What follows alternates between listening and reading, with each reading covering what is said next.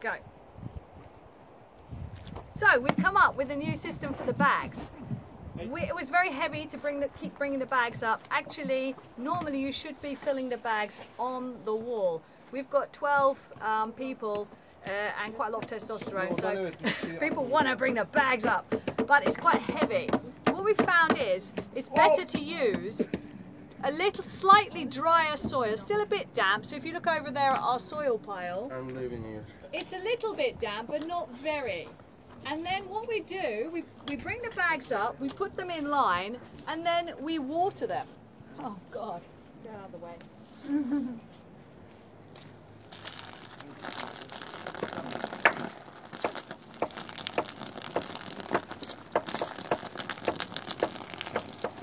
That's great, Tommy. Stop there. These polypropylene bags are not waterproof, they're full of holes, so the, the holes absorb the water. And then, once you've done that, you go up and you tamp it, except I can't reach the tamper, but you'll have to. yeah. Then you go up and you tamp it once the bags are wet. I'll just do one for you as an example. Now come here and have a look at that bag. Solid, you see?